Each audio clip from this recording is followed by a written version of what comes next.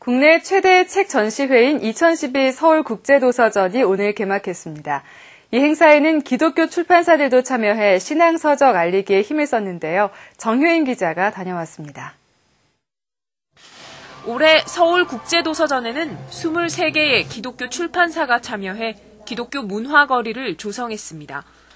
기독교 도서의 다양성과 우수성을 알리고 문서를 통한 선교 사역을 알리기 위해서입니다.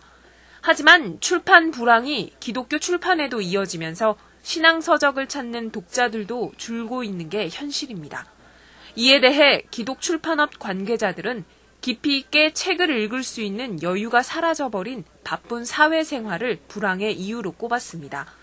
그리고 설교와 간증으로 구성된 책 외에 다양한 장르와 내용을 담보하지 못하는 도서 기획의 한계도 지적했습니다. 기독교는 소설과 같은 재미있고 감동적인 것들이 간증 외에는 그렇게 그 만들어지지 않고 있거든요. 우리나라는 그런 것들이 다 교리적인 잣대로 다 그 비판을 하기 때문에 작가들이 마음이 위축이 돼서 쓰지를 못하거든요.